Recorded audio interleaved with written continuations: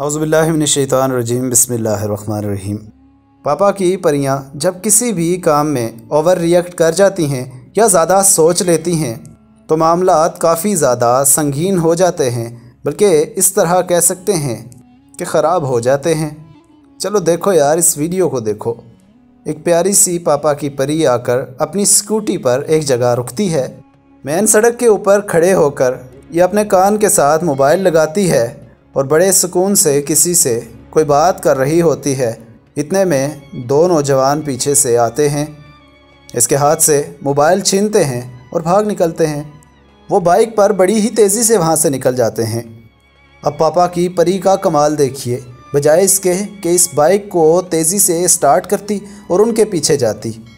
इसने ऐसी जहमत बिल्कुल भी नहीं की, बल्कि स्कूटी से उतर कर अपनी हिरनी जैसी टांगे इस्तेमाल करके एफ़ सिक्सटीन बनने की कोशिश की कि शायद जल्दी उन तक पहुँच सके।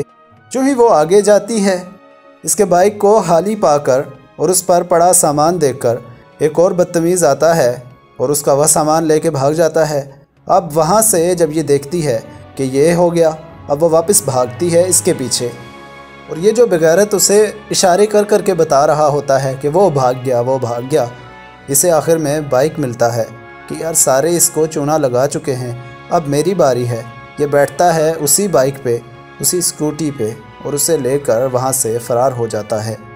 पापा की परी जब ये तमाम देखती है और कोई भी उसके कंट्रोल में नहीं आता तो उसका दिल करता है कि ज़मीन फटे और बस मैं इसके अंदर चली जाऊँ। पास खड़ा एक बगैरत हंस रहा होता है, लिहाजा वो उस पर अपना तमाम गुस्सा निकालने की कोशिश करती है। खैर, बेचारे का क्या कसूर था? वो तो इन्जॉय कर रहा था। जैसे आप लोग इन्जॉय कर रहे थे तो इस वीडियो को शेयर कर दें चैनल को सब्सक्राइब कर दें बेल आइकन प्रेस कर दें।